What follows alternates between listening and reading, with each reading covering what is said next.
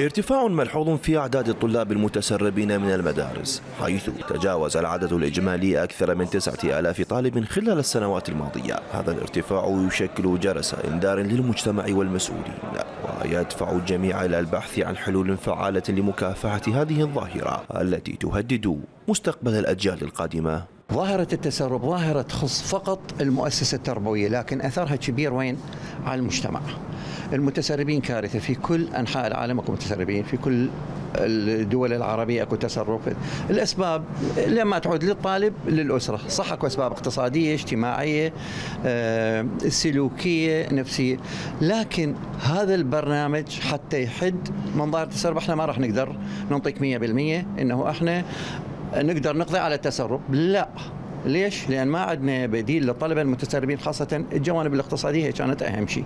في مسعى لمواجهة هذه الأزمة أطلقت منظمة اليونسيف برنامجا بالتعاون مع المؤسسات الحكومية يهدف إلى إعادة الطلاب المتسربين إلى المدارس وتقديم الدعم النفسي والاجتماعي لهم بالإضافة إلى تحسين البنية التحتية للمدارس وتوفير بيئة تعليمية مناسبة. هذا البرنامج أو يعني الحملة الحالية حتاخذ 45 يوم من الوقت من 1 9 إلى 15 10 إن شاء الله.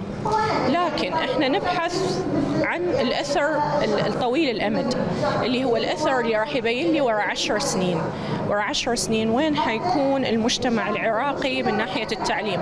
تعرف أنت هسه التعليم آه، صار واحد من مصادر التنمية البشرية. هكذا ورشة على جانب كبير من الأهمية لأنها ورشة أولا بإشراف دولة رئيس الوزراء شخصيا تنفذها وزارة التربية بالتعاون مع اليونيسيف آه، لتدريب قادة قادة تدريب بإمكانهم أن آه، يدربوا أيضا مجاميع أخرى من أجل الحصر الميداني أولا لأعداد المتسربين والمنقطعين.